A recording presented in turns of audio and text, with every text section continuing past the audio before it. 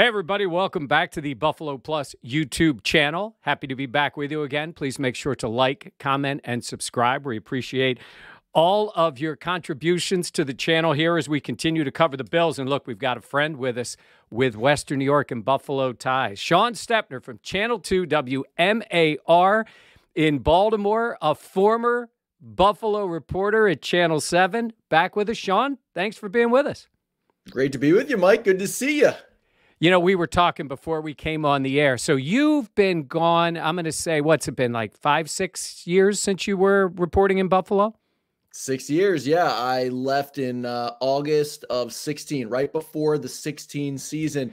And it's funny, um, I was there for, you know, eight and a half years, loved my time in Buffalo, still follow uh, what's going on in the city, the Bills, the Sabres, everything, you know, um, on social media, interacting with so many people from from Buffalo still, and still have you know lots of friends in the area. Um, you know, my family, you know, my my two kids were born in in, in Buffalo and Rochester, so.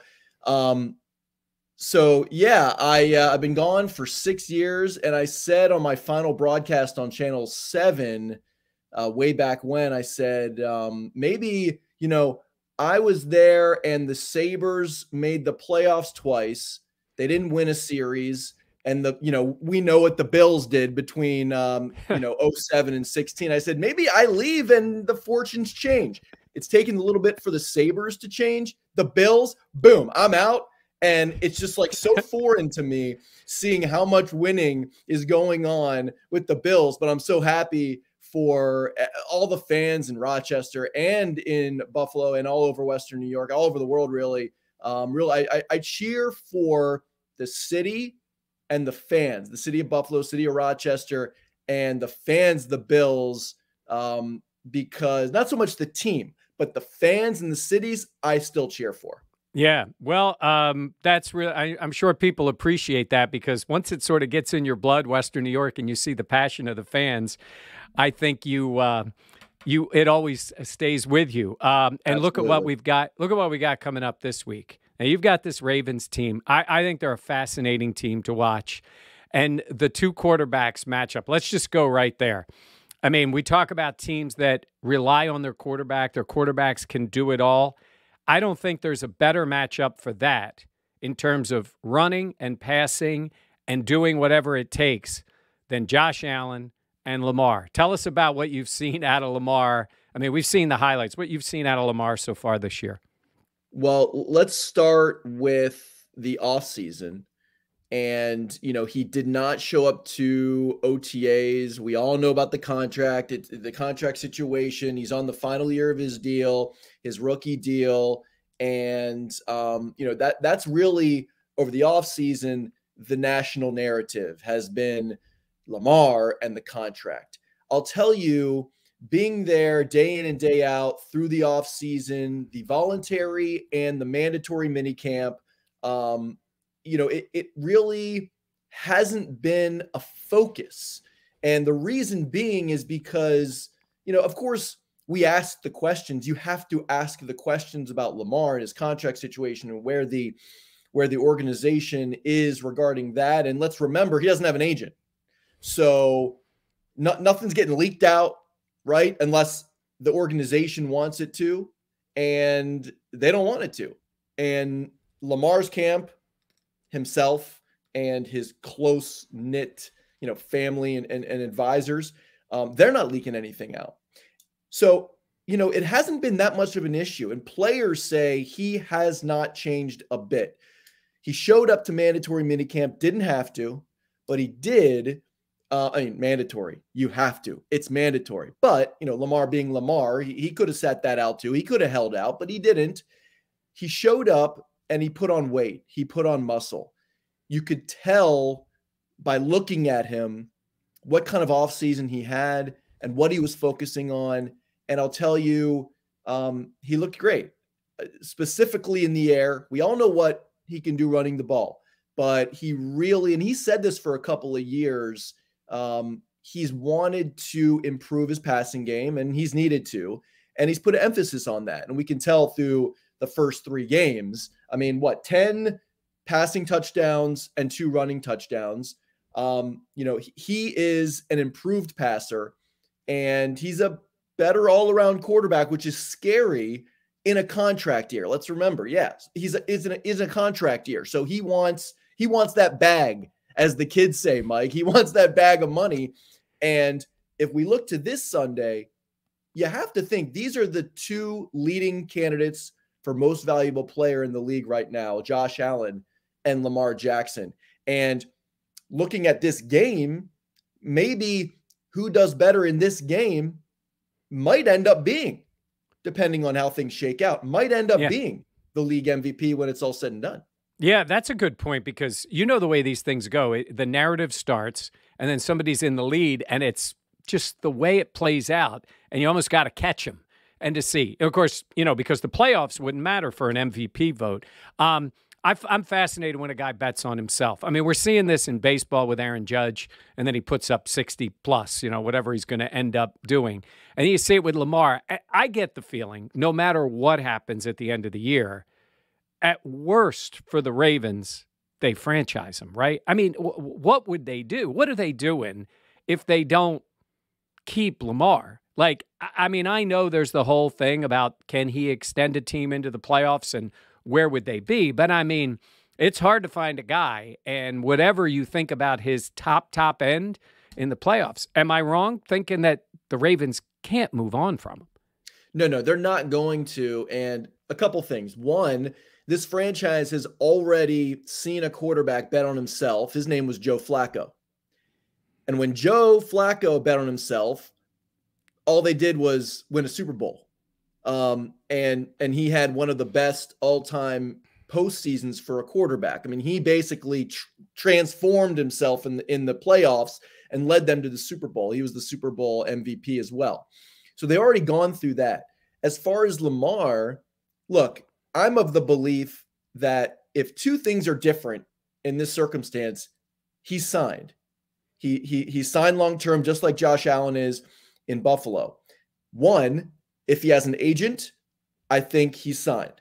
Two, if Deshaun Watson never got that guaranteed money, Lamar is signed.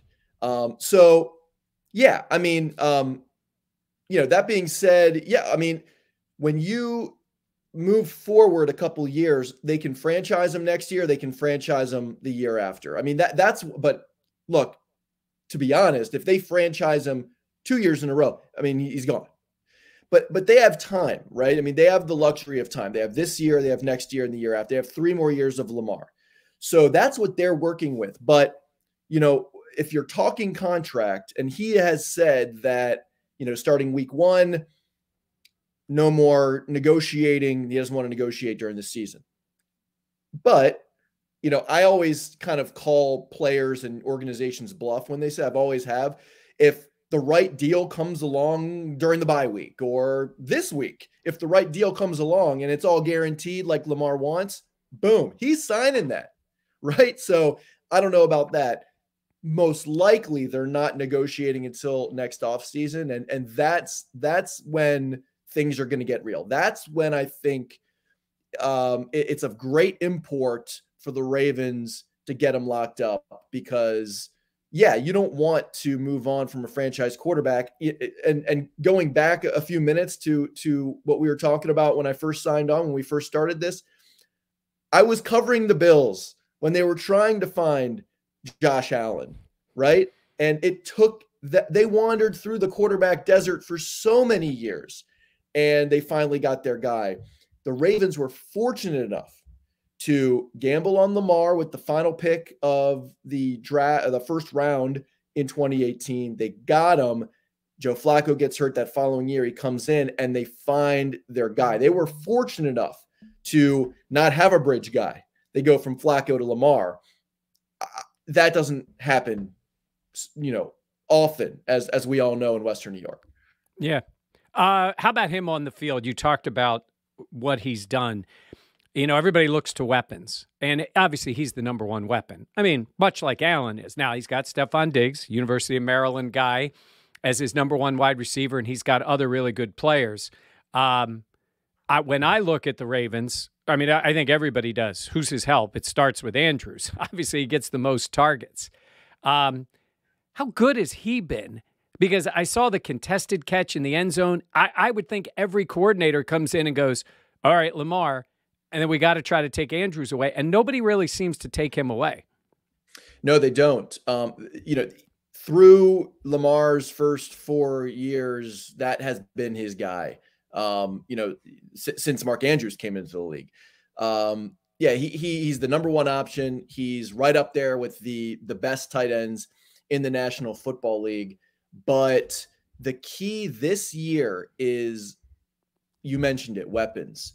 They have wide receivers that they bet on. They traded Marquise Brown over the offseason because Marquise Brown wanted out.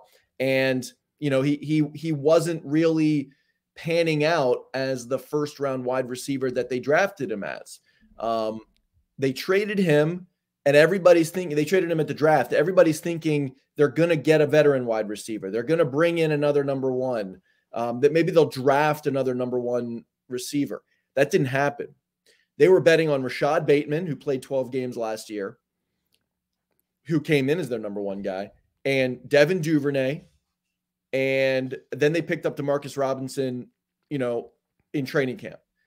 Those are their guys. I mean, does that scream weapons to you. It doesn't to me. However, um, Andrews is there. He was the number one target. But through the first three games, you've seen Devin Duvernay, Rashod, uh, Demarcus has a touchdown. But Duvernay and Rashod Bateman have really stepped up. Um, they, they're, they're emerging as uh, potential uh, weapons for Lamar. And that's really what's going to help Mark Andrews, to your point, get even better because now you have to worry about those other guys. And, and Lamar Jackson really hasn't had that since he's been in the league. Yeah, Duvernay, did I read it right? Eight targets, eight catches, like every time they've gone to him, unless I looked Very at the reliable. stats wrong. Yeah. Very and three yeah. touchdowns already, and he's got speed. So and he's a returner, and he kick, yeah. returns kicks and punts, and he already has a kickoff return this year to open the Miami game. That, that's how it started. We all know how it ended. Uh, so um, Duvernay is, is a big threat. Yeah, you mentioned the Miami game. Okay. Uh, we just got back from Miami where the Bills lost that game. That's their only loss. Ravens' only loss is to Miami. It's just between us here, so no Dolphins fans are listening. Of course. I don't think they're that good of a team. I know they're undefeated and they beat the Bills and they beat the Ravens. But both of those teams got done that game going, we're the better team and we didn't win. Maybe there was health reasons more for the Bills and the Heat and the Ravens. It just fell apart for them in the fourth quarter. But am I missing something there? It, for all Bills fans, if you can go back and watch the fourth quarter of the Ravens Dolphins game, and you will be smiling from ear to ear from whenever you watch this until kickoff on Sunday. Actually, to the fourth quarter on Sunday, because you mentioned health problems for the Bills. Um, look, the, the defensive backfield, particularly at cornerback, um, is an issue among many issues for the Ravens defense. It's funny through the franchise's history here in Baltimore, when you think Ravens, the first thing that pops in your mind is what? Defense. A- absolutely. That has gone completely flipped over the since Lamar has entered the equation sure specifically since 2019. Their their defense, specifically their pass defense, and the pass the lack of a pass rush over the last few years has really hurt this as well. But they're last in the league in pass defense. They get burned all the time. And, and it's and it's weird because they have Marlon Humphrey and Marcus Peters. Now, Humphrey and Peters ended last year injured. In that Miami game, Marlon Humphrey was not on the field a lot in the second half and fourth quarter. And Marcus Peters, it was his first game since last year, uh, since two years ago, actually, because he missed all of last year. So he's working his way back in. So when they're in the fourth quarter and relying on a couple of rookies at corner in Pepe Williams and Jalyn Armour Davis, who just got torched over and over again. Um, and then they're they're relying on Kyle Hamilton first round safety in the backfield who has all the talent in the world, but miscommunication and mental errors all over the place in that fourth quarter. chunk plays, big plays. Not a lot of teams, uh, maybe no team has the speed at wide receiver and the athletes at wide receiver like the Dolphins do. And, and they just got burned. Some of it's on the offense. They didn't score. I mean, they got outscored 28 to 3. And those four touchdowns by the Dolphins, there, there weren't any special teams touchdowns. Hmm. There weren't any rushing touchdowns. They were passing touchdowns. Uh, there weren't any interceptions. They were they were passing touchdowns on the Ravens.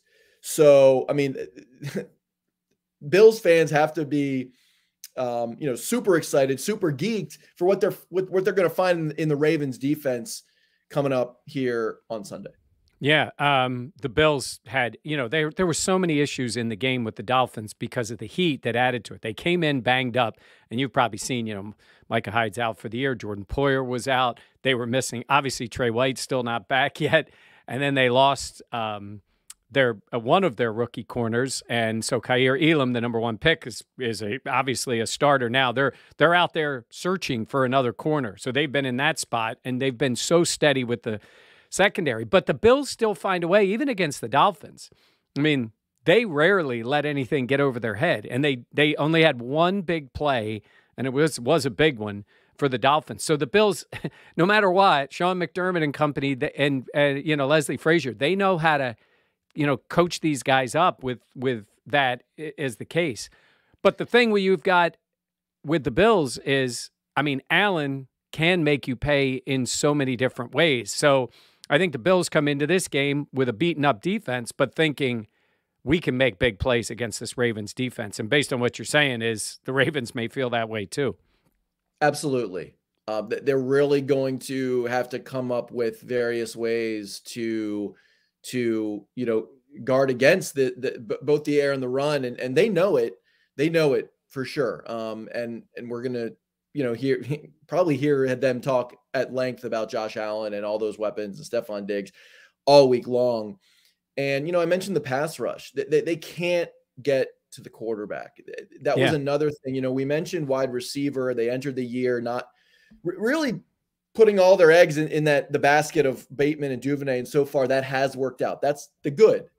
The bad is the pass rush. They entered the year with basically two healthy pass rushers you know, outside linebackers in in um, Odafe Oweh and Justin Houston. Justin Houston just got hurt.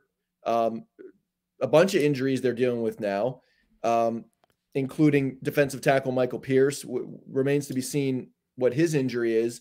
Um, he has an arm injury. Justin Houston has a groin. We'll see how that plays out. But Odafe Oweh, his second year, expecting big things. Um, he's been invisible. Yeah. Um, no one knows, you know, where Odafe Oweh. Maybe he changed his name back to Jayson Oweh, how he went in in in Penn State, but he hasn't showed up yet. And you know, they really have issues getting to the quarterback. They're still waiting on Tyus Bowser, who tore his Achilles in the season finale last year, and they drafted David Ojabo from uh, Michigan and you know he has an Achilles. He's working his way back from his Achilles. He tore on his pro day, so that should help later on in the year if he comes back. And Bowser's going to come back, but but they can't get to the quarterback. They get no push, and that's that that is gonna that's gonna hurt. You can't let Josh just sit back there ho hum, look for his weapons, and then boom, take off or or you know hit Stefon Diggs for multiple touchdowns again. Yeah. Um, you mentioned Allen, uh, you know, obviously a few times. Uh, I'm always curious at the perception of players. And for a few years, it was like, oh, yeah, they've got that kid, Josh Allen. He could throw the ball a mile and whatever it is. And now he's a superstar in this league. So, fans this week in Baltimore, um, I mean, Josh Allen just appears to be one of those guys, kind of like Lamar. He has fans everywhere. People love the way guys like that play. Um, with a, a, a, Raven fan who who's obviously looking for his team to win this week, what's the perception of Allen from a team? They've seen him in the playoffs, obviously a few years, a couple of years ago. But what do you think the perception of Josh Allen now is from a Baltimore perspective? I mean, perfect quarterback. I, I don't. I mean, he's he's. What else do you want in a quarterback nowadays, right? I mean, the the the one thing I'll say from me is uh, I guess the only thing could change is not taking as many hits in yeah. bounds, right? I mean, maybe, but that's that's what makes Josh Allen Josh Allen, right? So so how do you you just got to turn him loose and let him play and trust that he knows what he's doing. Um, yeah. And th- that's one thing about Lamar. Not not to get away from the Allen thing, but but that one one perception of Lamar is that he's a running quarterback and he's going to put himself in in in these uh, precarious situations where he can get hurt, and that's maybe not why you want to pay him. Yada yada yada. But when you look at his injury history, it, it's all been in the pocket, or or yeah. you know when, when the when the line breaks down, or you know he does a good job of either getting down or getting out of bounds. So you know you know with Allen, you know back to your question, um, how can you not be just terrified of what, what he can do to you every every week. I mean, unless yeah. you can get to him and, and, get him on the ground. Uh, yeah, you know, he, he's he has to be as close to a perfect quarterback as, and, and he's young. That's the thing. He's so young. Um, so I think people are apprehensive and anxious of what he's going to do to the AFC over his career. Yeah. Uh, I, I love this. Like I said right in the beginning, I love this matchup with these two guys who just put everything out there. Um, you know, there's there's so many quality quarterbacks in the NFL, and they're all different. But I think these two guys have a lot of similarities. And the one thing I was wondering about, he said he doesn't have an agent. I guess Josh Allen now is going to have. He's got a few national commercials coming out, which I was kind of wondering about. I I really enjoy seeing the glimpses we get of Lamar's personality. He seems like a upbeat guy, likable guy. He's got the incredible athletic ability that goes with it. Why are we not seeing Lamar somewhere? I mean, you know, we've seen Baker Mayfield forever. You know, you see a lot of you see Dak all over the place. Is it because he doesn't have an agent? Am I missing something where I don't see Lamar? And I think he would. I think you can make him that guy and become even a bigger star. Absolutely, absolutely. Um, you know, I think he's in a DraftKings commercial. Yeah, uh, with with a couple other guys, but that uh, off the top of my head, I think that's it. He's not yeah. even featured really locally. Yeah. Um, I mean, you know, he's not doing West Herr commercials. He's not yes. doing, you know, or the West Herr of Baltimore, right? I mean, he's right. not doing um, you know, things that that even locally that local companies try to to get guys to do. You know where you can see him is on social media, on Twitter and Instagram. He, yeah. When he has something to say, he says it there. He did yeah. in training camp um, a lot. Yeah. Uh, you know, so that's kind of where he shows up. Yeah. And but but you know how do you, you can make money that way, but you know, I don't think really he is. yeah. Uh, I wanted to ask you real quick, coaching staff from Baltimore. Uh, we know our old friend from Buffalo, a couple years here, Greg Roman runs the offense. Seems to be the right guy for Lamar. I mean, the, Lamar's been an MVP and been that guy. John Harbaugh, uh, connections with Sean McDermott. Obviously, they used to coach together in Philly. He's he's that guy. Like he's the Ravens. Like you think of Lamar, but you certainly for years we've thought of Harbaugh. He appeared to go through a bit of a rough patch for a few years, where people were starting to be like, you know, so, sort of like Mike Tomlin sees in Pittsburgh, where it's like, hey, is he not getting it done? What's the perception of Harbaugh if, are people still all in on him? Is there doubts about Harbaugh? How does it work in Baltimore? Well, last week after the meltdown against Miami, if you turned on sports radio in Baltimore at any point of the day uh, on Monday, um, I would probably venture a guess that 90% of the people wanted Harbaugh out like by the end of the day. Game two of a season.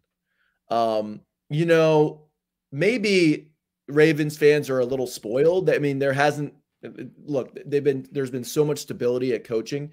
Last year was the first time that John Harbaugh had ever finished in last place. Um, and you know, the way that the season ended last year, there, there were like close game after close game after close game. And you know, it could have gone either way. What how John Harbaugh has changed over the years, he's super uber aggressive now and it bit him last week against Miami. Um, you know, la- last year he he goes for two point conversions and they don't work, and if those two point conversions work, they win games and they're in the playoffs. It, it, so it bit him last year too. Um, John Harbaugh used to be um, really an authoritarian, um, his way or the highway. He is all players coach, I, I think now. He, he's really more of a players coach, I should say, now. And he really respects what the guys do. He respects the different personalities and what they bring to the table. And he asks players' opinion during the week, obviously, and during the game as well. We've seen snippets of that. Um, you know, throughout the years recently, specifically with Lamar, what do you want to do? You want to go for it? Two point yeah. conversion, fourth down. What are you thinking?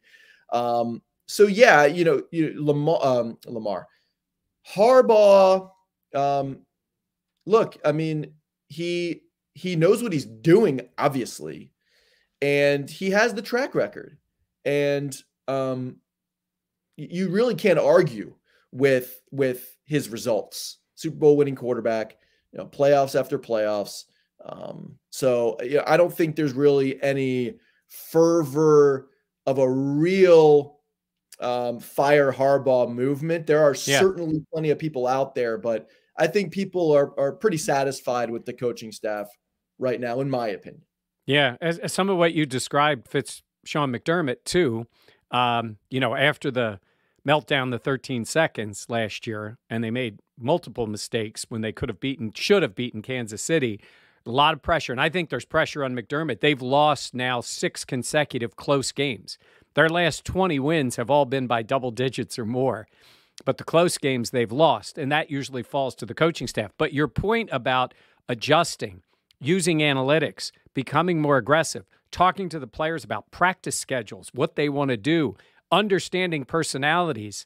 You know, for guys like this, I don't think that's an easy transition, you know, and and they've both done it in different ways. McDermott doesn't have the resume, but they've both learned to adjust. You know, it, it's it's a great point, and you know, we we started by I was talking about training camp and and Lamar, and um, you know, after last year, last year for the Ravens was defined by by injuries, and they suffered multiple season-ending injuries to key players in training camp that were you know the people that were you know Dobbins was lost for the season. Peters was lost for the season. Gus Edwards is still not back. He was lost for the season. He's the number 2 running back lost for the season. Justice Hill, running back, who you're going to see a lot of on Sunday, who had a, a, great game, the best game of his career against um, the Patriots uh, last Sunday. He he was lost for the season. Um, you know, m- multiple guys lost for the season. They changed their whole training camp practice schedule around that, around trying to minimize injuries in the pre in the preseason in, in, in training camp and games. They went from practicing early morning uh, before the heat comes to practicing in the middle of the heat, 1:30 to 4. Believe me, 1:30 to 4 in Maryland um, mm. is not a walk in the park. Uh, you know, I can tell you from from the, from standing on the sidelines in the beating sun. For the guys, that wasn't either. But what John Harbaugh told us was that they, through their research, uh, that they found that you know, among other things, it gives the guys time to wake up in the morning. They they're getting um, some some exercise in and, and some lifting and some cardio, a little bit of cardio in the morning. They wake up, they fuel up, they get some meals in them, then they take the field. They didn't suffer really compared to last year, relatively speaking. Yeah. Really a lot of catastrophic injuries in, in the preseason. He changed. right? I mean, he's been doing something for so long his way. He changes it up. Now they're suffering injuries, which is kind of a conundrum in and of itself in, in the regular season. But, you know, that to your point of these longtime hard-headed coaches maybe not wanting to change, Harbaugh, he will change. I mean, I talked I talked about how he's more of a players coach now. He changed in that regard. And, you know, it, it on the field and the practice schedule as recently as a few months ago and last month, really, he changed that way as well. Yeah. All right. Last couple of things involve the fans coming in. You know, Bills Mafia likes to travel. We just saw him in Miami. We were out in LA. Bills fans going. Baltimore is a, a nice trip. It's not a long trip. You can get a direct flight, all those things. First, let's start with the weather. Now, we have had the two hottest games I have ever covered for the Bills have been the first two this year. It was 97 in LA, even though that's a stadium, that field was a sauna because it's covered, but it's not indoors. And then this past week was ridiculous. I mean, all the players dropping due to the heat. Then I look at Baltimore. I'm like, oh, this will be great. Fall in Baltimore, and I'm seeing rain. Eh, eh, yeah. I don't know if you've looked. Eh, are we getting rain? I just looked at it. That's what I was doing. Looking at it yeah. right here. Rain. Is that what it's supposed to be? Is that what you're hearing? Yeah, Is that what. Channel Two um, meteorologists are telling? You know, they're always right. Absolutely. So. It's going to come in from the uh, the cold front mixed with a circular pattern. No, I, I think it's I actually I could be wrong, but I think it's the remnants of the hurricane that that's that's coming up the west yeah. coast of Florida. It's going to move in and up. So yeah, we might be in. And I I, I think um, when I could be wrong, but I think when the Bills came to Baltimore, I want to say it was the 2016 season. Uh, I think it was my my first regular season game. The Bills opened. I think right. that was the. I think that was the Nathan Peterman. Oh yeah, forty-four to six, and then yes. Josh came in in 2018. Yes. 18. That was the that was when Peterman. If it, Peterman started, lasted a half. I think it was thirty to nothing, something like that. Was That's, that was that the season opener? The the Bills at that the was Ravens? the season opener, and Josh came in in second half. Yeah, and he started since then. So yeah, absolutely. Yeah. Okay. So so we might be look, getting that. When the, when Bills Mafia and, and you know when the Bills come down to Baltimore, expect expect weather, expect yeah. some precip. So yeah. who's um, that favor? I don't know. I mean, the wind. I'll tell you, the wind. Um, they they changed a few years ago. They changed M&T Bank Stadium. They put where there were like little notches on the corners um, yeah. between the between the seats. They put ver- uh, vertical video boards. It kind of changed the wind pattern. Hmm. There's not as much wind now, uh, nothing like Orchard Park. So, uh, you know, what should it do to the to the game? I don't know. I mean, I think both these guys can operate just yeah. fine. Yeah, with the weather. weather.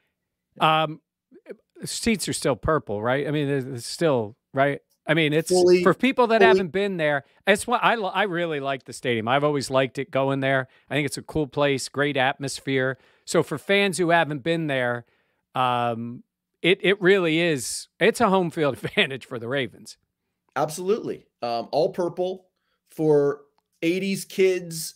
Uh, think about Grimace from McDonald's. yes, right. um, yeah, all all purple, and it's it's a great it's a great stadium. I mean, built in the mid '90s, and um, they, they've really enjoyed a lot of success there. And you know, Ravens fans are loud and they're rowdy.